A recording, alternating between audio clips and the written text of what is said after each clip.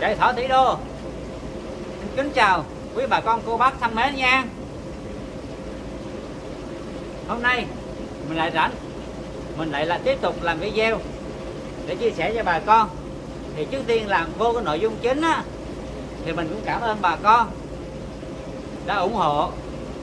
Trong quá trình chăn nuôi cũng ủng hộ chạy thỏ tỷ Đô. Đó, thì mình cũng xin rất là cảm ơn ủng hộ về à, phụ kiện lòng van uống nước, thuốc men, cũng như là thỏ giống. Đồng thời chạy thỏ tỷ đô luôn. Hướng về cái thành công và để chia sẻ cho bà con tất cả những cái gì kinh nghiệm mà chạy thỏ tỷ đô có được, thì có được ngày hôm nay cũng là nhờ tới bà con cô bác và cái công sức của mình bỏ ra. Thì mình mới được ngày hôm nay thì mình xin cúi đầu. Cảm ơn bà con cô bác rất nhiều.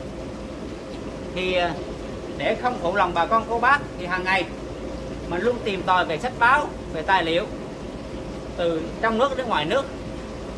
Những kỹ thuật nào mới mẻ để mình chia sẻ lại cho bà con. Để mà bà con chăn nuôi cho thiệt là tốt nha. Thì hôm nay mình làm cái video này với cái nội dung là như, nội dung như sau.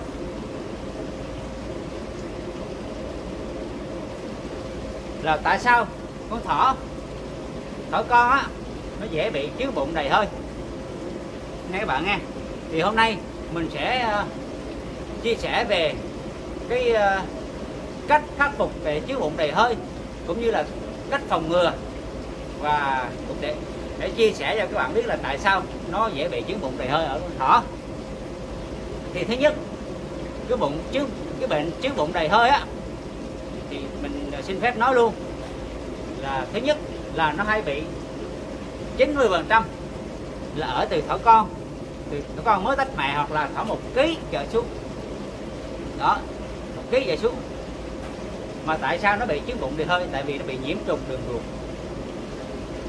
Cái đường ruột nó kém quá, nó không tiêu hóa tốt. Nó ăn vô, nó dồn vô và thức ăn nó không tiêu được. Gọi là chứng bụng táo bón thức ăn nó không tiêu được và nó sẽ dồn ở trong cái, cái ruột của nó. Và đến lúc nó sẽ lên men. Và nó sẽ sình cái bụng lên. Nếu mình phát hiện không kịp thì 90 phần trăm là sẽ chết. Đó thì cái phương pháp mà để điều trị á tốt nhất là mình phải biết phát hiện nó sớm. Phát hiện muộn là thua. Thì để phát hiện sớm á và cách phòng ngừa thì làm ơn bà con làm ơn là con thỏ một ký trở xuống. Đừng bao giờ cho ăn no. Ngay cả cỏ lẫn cám, cho ăn đều ăn đủ. Ăn đúng giờ, nhưng mà đừng bao giờ cho ăn no. Hoặc là cho ăn dư thức ăn. Ngay cả cỏ, cả cám nha các bạn nghe đó là cái thứ nhất. Cái thứ hai, thỏ con một ký giờ xuống nếu nó đã lơ ăn trong vòng nửa ngày thôi. Chích thuốc cho nó liền. Chích cho nó bằng mũi nhiễm trùng đường ruột liền và nhiễm trùng đường ruột là thuốc gì thì để mình chỉ luôn cho bà con. Đây, tại mình sử dụng nhiễm trùng đường ruột. Sao mà lấy nét? Chậm quá. Đây, đó là maybe stream. Sao mà không rõ ta? Đây. Mờ quá mờ. Điện thoại của bác với bà con ơi. Đây nha. Đây là maybe stream nè. Thấy chưa? Nhiễm trong đường ruột nè. Đó. Nếu nó bỏ ăn, chích liền một mũi cho mình. Nha các bạn nha.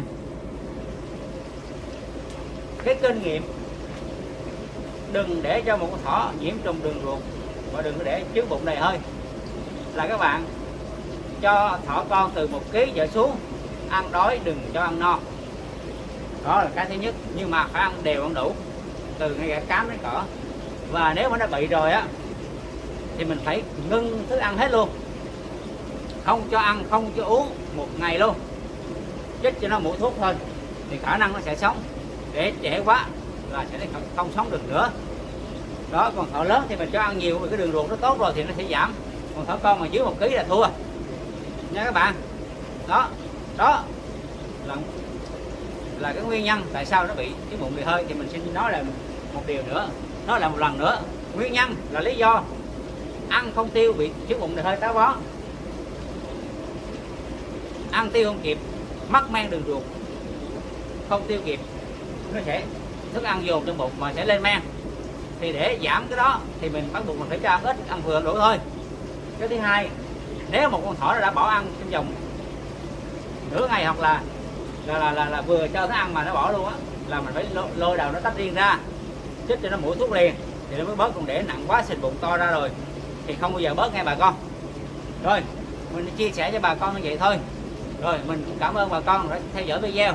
Mình xin hẹn gặp lại bà con trong những video lần sau nha. Kính chào.